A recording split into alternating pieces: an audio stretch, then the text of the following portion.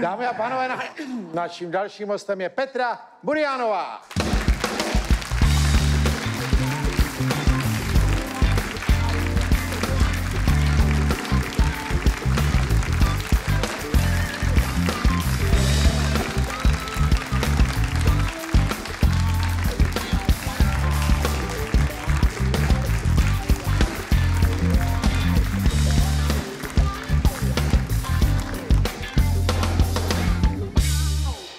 Paní Petra Burianová je vítěz televizní soutěže Peče celá Evropa, nebo jak se to jmenuje, No, že jo? nejlepší amatér Podívejte včera. na to, to je nádhera. To je moje, ne?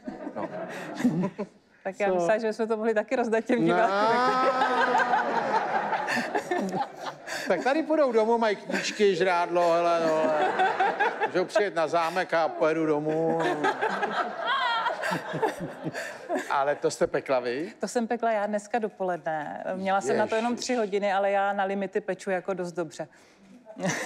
No to vám taky prospělo v té soutěži, To že jo? právě, tam jsem se to dost jako vycvičila a teď si to udržuju, to Já jsem tempo. někde čet, že byste tam nechtěla jít, že vás přemlouvali doma, abyste No se mě tam přihlásili hlavně jako by Jo. ty moje děti, no. Oni si mě tam jako nominovali a Oni vás tam nominovali, ale vy jste tam vlastně zjistila, že to má ty limity, že vám to žádný problém nedělá, že jo? to teda mě dělalo velký problém. Jo. Mhm. Ty limity, víte, když máte doma vlastní troubu, máte na to čas, skleničku vína, to se peče vy úplně jinak. Takhle, Já takhle peču jako v klidu.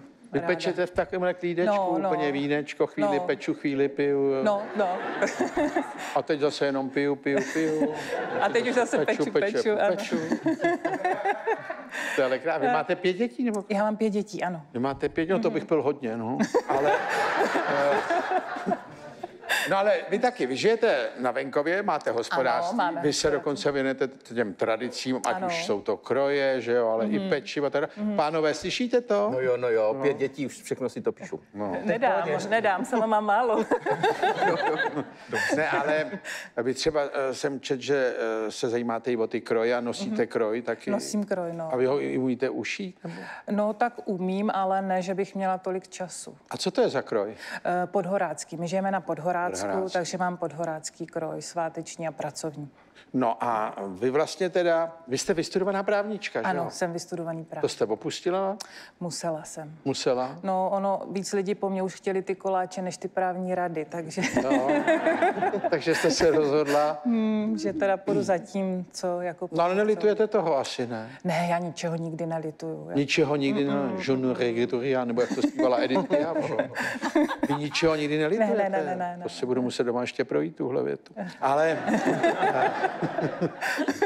No a vy žijete na venkově? Ano, Máte své hospodářství, jako, který vám poskytuje teda nějakou soběstačnost? ano, teď už teda menší, teď už to trošku redukujeme, ale, ale máme, máme soběstačné hospodářství. Vlastně. A pečete a vlastně eh, to je vaše obživa prodej těch pekařských výrobků? Ne, ne, ne, vůbec ne. ne. Já se teď živím jako vlastně, on se tomu říká jako influencerka teď. Jako influencerka? Já teda říkám, že jsem pořád jenom ta dcerka spíš. Jako.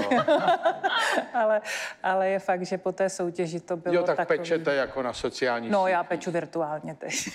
To je, peče. to je jediný, jak já bych mohl péct taky virtuálně. Mm-hmm. A na konci bych vytáhl ty vaše koláče, že bych to jsem dneska napal. Já jsem, já jsem zapomněla, oni totiž chtěli, abych s váma něco pekla, že prý jste jako šikovný na to pečení. Jo, a já no jsem se velmi. dívala a moc nejste. Takže já jsem jako vymyslela. Já jsem jako vymyslela něco. Jo. My jsme na Moravě hodní. Já jsou někdy, někdy všeho lituju, no.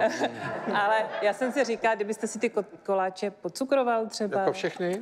No tak kolik jich sníte, tak si pocukrujte. Já jsem to v té režii slíbila, že s vámi budu něco tak jako tvořit, ale zase vy jste Jo. dobrý moderátor, já dobrá Tak vy jste pekařka. tady všichni přišli s nějakýma pokynama, který mě jsou nejasné. je tady zakázaný roden, vy, že se mnou máte něco vytvářet. Tady. Ty, takzvaně cukrování bez rodina teda. Jako. Thank you. To je opravdu, zvláštní. A co mám jako dělat? Teda? Jako jenom to posypte tím cukrem. Já to mám rád bez toho. Tak si to necukrujte, ale řekněte, že jsem vás jako nutila, jako tam vzadu. Víte, co hrozí? Že je možný, že oni to vidějí. Ale já to dám takhle, aby nám to nevoschlo. Jo.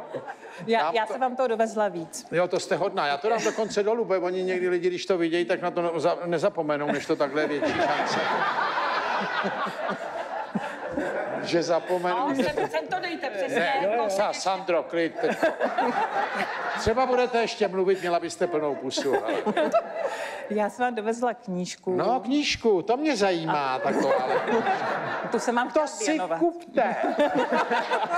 To dostanete.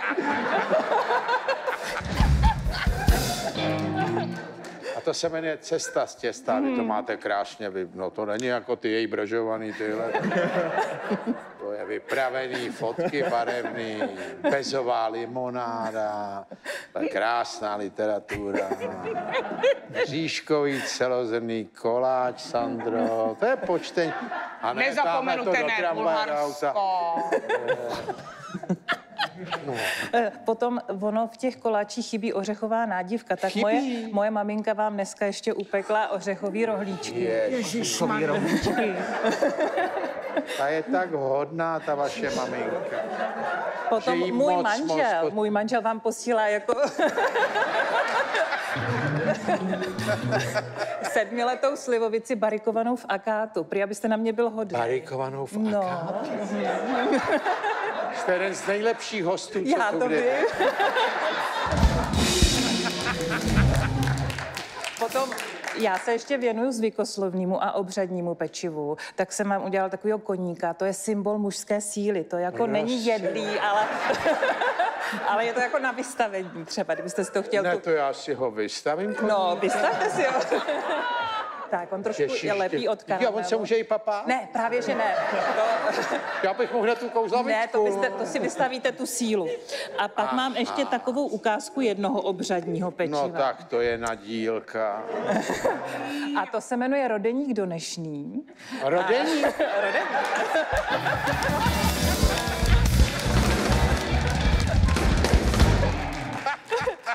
tím se, tím se vlastně uznávalo dřív jako za našich předků otcovství.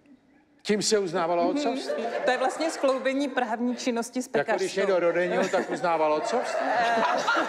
Ne, to bylo tak, že když se na vesnici narodilo nemanželský dítě, No. tak ta vesnice upekla tady tu figurku ve tvaru toho miminka. Můžu se podívat? Podívejte se.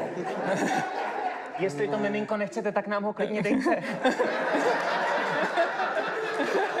Ještě jsem nikdy do něčeho tak nádherného nekousl. A tak vesnice upekla. A šli miminko. na prach toho domělého nějakého otce, kterého si vybrali. A tam mu položili ten rodeník. A když on ho přijal, tak vlastně uznali to otcovství. No, ale ono se on, tomu říká rodení? rodeník donešný. Tomu se říká, ro- tak já vím, kam to pošlu.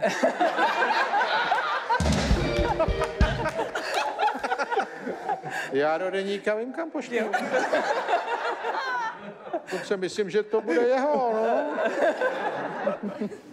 No tak ale vy jste, když jste dělala advokáta, tak jste, nebo právničku, Já jsem studovala práva se třema dětma a v předstátnicama se nám narodilo čtvrtý. čtvrtý. Hmm. A pracovala jste v Praze nebo někde ve městě? Eh, Studovala jsem v Brně, Brně. a je fakt, že teda vlastně při tom studiu jsem nepracovala, páč jsem byla na mateřský s těma dětma No. a mezi tím se narodilo to další dítě, takže vlastně já jsem při mateřský dostala takový nápad, že bych si mohla udělat vysokou školu. Aha.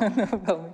A tak jste to vystudovala v Brně? No. Vystudovala A jsem když v jste nastoupila do praxe té právnické? Já jsem si udělala koncipientskou praxi ještě tříletou No. a pak mě to tak jako mm, trošku otrávilo, ta komerční sféra, že jsem začala pracovat v neziskovce a dělala jsem jako právník sociálního poradenství pro jednu Aha. neziskovku. Aha. No a potom i toho jste nechala, až zůstala jste na venkově. No tak na venkově jsem od začátku, ale uh, pak přišla ta soutěž a ten život se mi úplně přetočil. Přetočil. 180 stupňů. A váš pan manžel taky s váma hospodaří? No, hospodaří. On třeba pletl tady tu ošatku z té žitné slámy, anebo tu ošatku z toho proutíku. Neukazuj taky to tam, já jsem chtěl... To taky pletl, pálil Aby tu na to zapomněli slivovicu. trošku. Pálí tu slivovicu, eh, máme včely, takže včelaří, takže Jo, tak, tak jako... vy jste oba na plný úvazek. No vlastně ne, v tom. on je finančník jinak. Jako. on je jinak Finanční finanční. analytik, no. On je finanční analytik a takhle si dělá chlastíky. to je zajímavé. Vy jste ale v tomhle pokrokový teda ohromně. No tak my jsme pracovití hlavně. A jste pracovití. No to vás teda velmi ctí a je to i vidět. I tohle je vidět. Jsem nikdy toho tolik nedostal, tolik Je. nádher. Mám pocit, že jsem na svatbě svý vlastní. Tak to bylo fantastický vás poznat a jsem šťastný, že jsme se mohli setkat. děkuju. Pozdravujte pana manžela Budu, i děti. budu, děkuju. Petra Burianová!